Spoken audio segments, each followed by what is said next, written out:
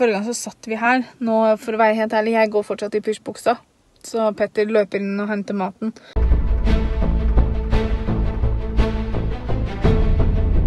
God morgen. Det er søndag. Og Petter har noen planer i dag. Ikke noe sånn store greier. Men vi skal ta bilde av noen spisestuestoler, i hvert fall. De gamle spisestuestolene våre skal vi ta bilde av. For dem skal vi prøve å få solgt. Og vi trenger ikke Vi har også noen andre ekstra stoler som det går an å stable oppå hverandre. Som vi heller har lyst til å ha, for dem tar mindre plass, da. Um, så vi skal få gjort det i dag. Og så må vi også finne fram Begynner den å bli tom, altså? I det. Um, jo da. Um, ja, jeg vet ikke. Vi skal gjøre litt andre ting også. Så jeg fikk også egentlig litt lyst til å bake, men jeg vet ikke helt hva.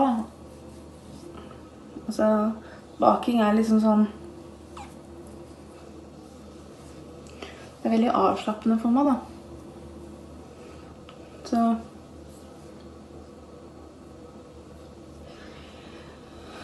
Til helga må jeg i hvert fall bake, fordi til helga skal Petter feire Åh. Til helga skal Petter feire bursdagen sin.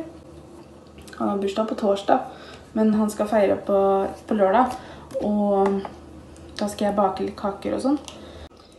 Så jeg må bake Jeg skal sjekke om jeg kan bake den ene på fredag. For jeg skal bl.a. bake sånn suksessterte. Og den tror jeg helt fint går an å bakes dagen før. Da må bare finne ut åssen oppskrift jeg vil bruke. Så får vi se. The perfect summer is over in a flash in your Det er veldig mørkt her, men jeg, jeg er på loftet, og jeg fant noen kopper. Og under her så ligger det masse sånne eh, Harry Potter-kopper og sånn som jeg fikk Det her er The Lion King, da. Um, som jeg og Pia fikk i gave, som ble sendt oss av en av stjernene våre for Ja, det er vel to år siden eller noe sånt. Em, men det er i hvert fall en del sånne kopper som jeg dessverre ikke hadde noe sted å ha nede. Som jeg har lagt opp her. Men de ligger godt beskytta i pappeskene sine. da. Så hvis jeg en dag får en hylle til over, så skal jeg sette dem opp. Men jeg vet jeg har dem her. Og så er det M-koppen min som jeg kjøpte i London. Den er fin, altså. Eh, Game of Thrones. Så jeg vet jeg har dem her. Sånn, nå blir det mørkt. Nå kommer Petter. Det er tid for litt mat, og jeg og Petter har bestilt oss mat på Wok Go i dag. For vi hadde lyst på det til lunsj. Wok Go. Skal vi se om jeg klarer å Hei, hei.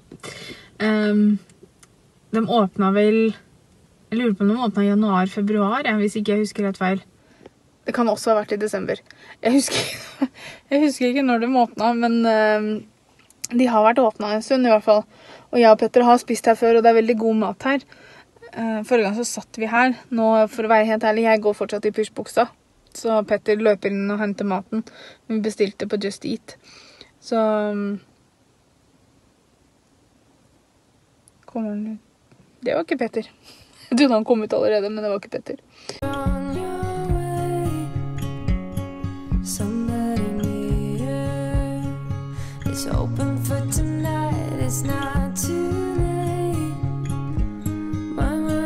yes.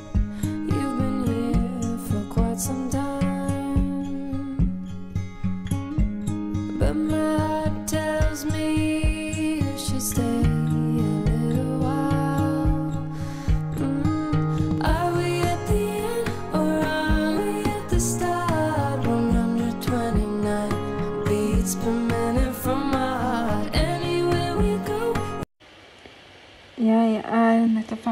å redigere videoen som skal ut i morgen.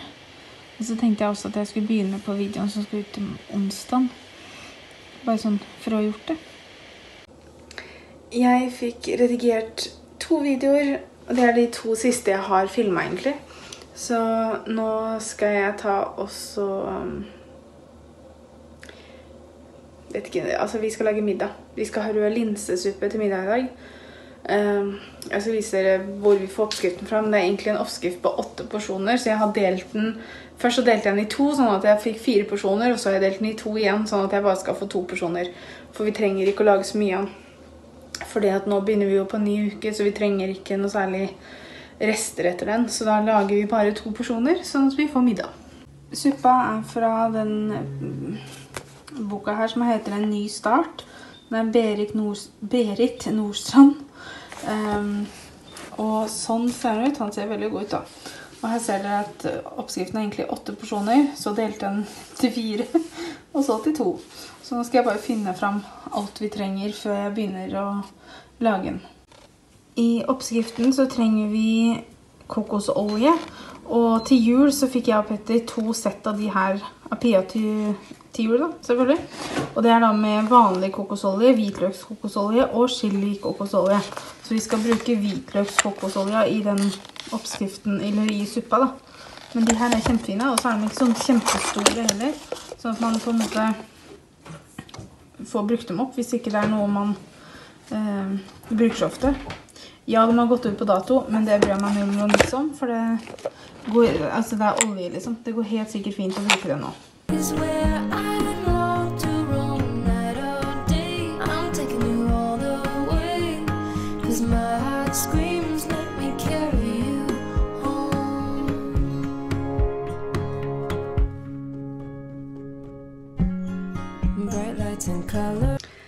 Etter middagen så satte jeg og Petter vårs ned og så på Frozen 2 igjen. Petter hadde jo ikke sett den, ehm, og jeg hadde ikke noe problem med å se den en gang til. Uh, den er så utrolig fin, og sangene er så fine, og I like it. Eh, men nå skal jeg ta og så sette meg og redigere vloggen. I morgen så skal jeg jobbe, men ikke før klokka to, og før det så skal jeg kjøre Pia på, til legen. Hun skal til fastlegen i morgen. Så ja. Men da sier jeg tusen takk for i dag. Håper dere har hatt en kjempefin dag, og så ses vi i morgen.